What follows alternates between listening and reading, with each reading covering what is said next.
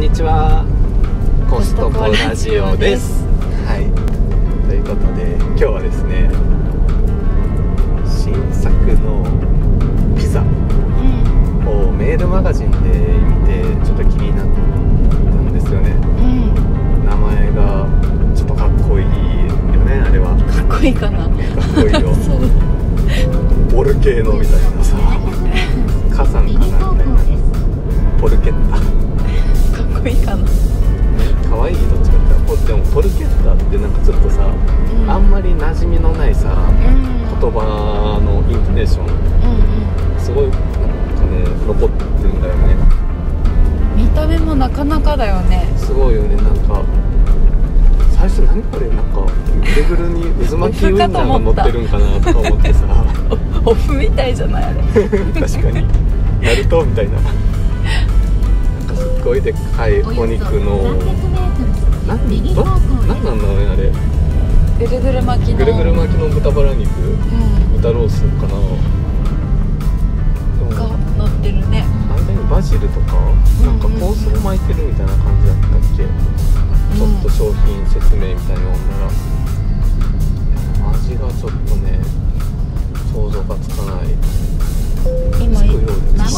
てるピザがしらすっていう思いっきり和のね。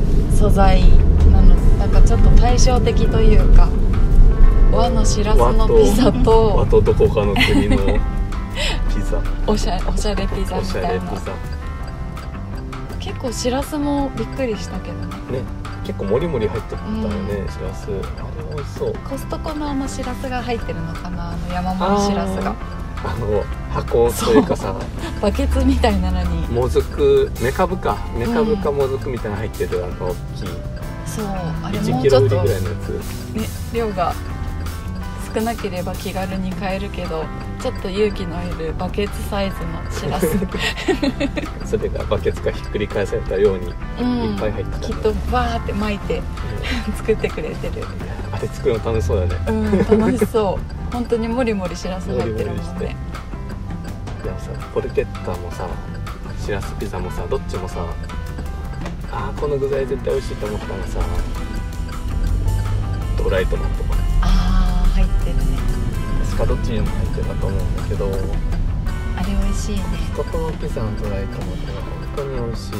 前何に入ってたんだっけ？前はパンチェッタかな。うんパンチェッタのピザだっめっちゃ美味しいあれが甘くて甘さがキューって濃縮されててあとなんかね多分オリーブオイルか何かにつけてて香りもすごい良くて美味しいけうんうん。あれが入ってるとちょっとおしゃれっぽくなるよね。うん。じゃあピザを見てさそ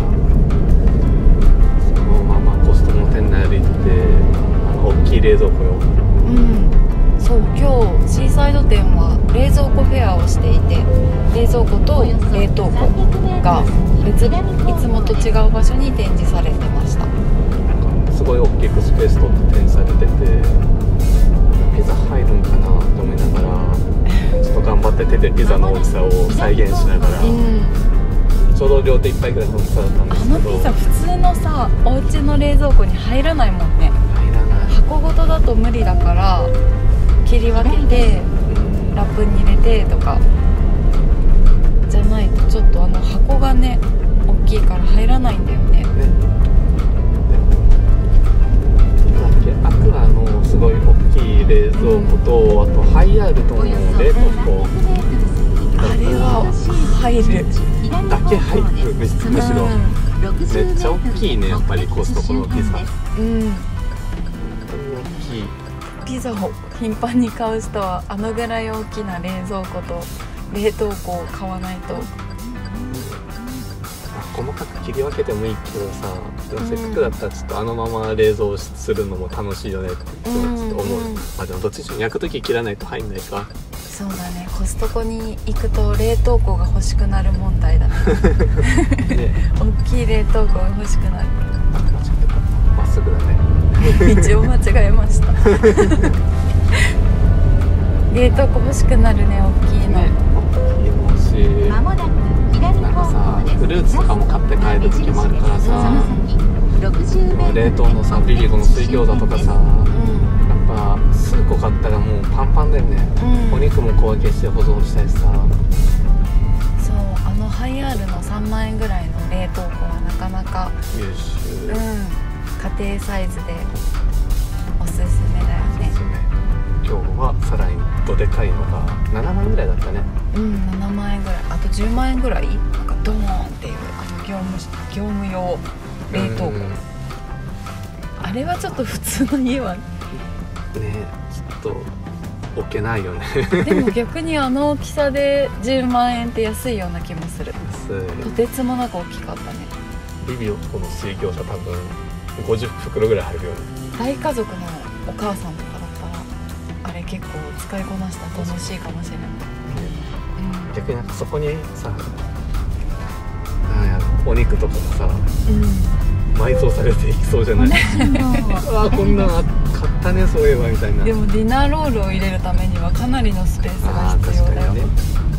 パンとかねうんいるよね、そう思ったのが意外となんとか使い切れるっていう感じなんかな。うんうん今日はピザも楽しみに。という感じでポルケッタをまもなく右方向その先90メートルで左方向です。ということでこの動画はですねここで終わろうかなと思いますぜひですね動画良ければグッドボタンとチャンネル登録していただけると嬉しく思います。また今度の動画でお会いしましょう。バイバイ。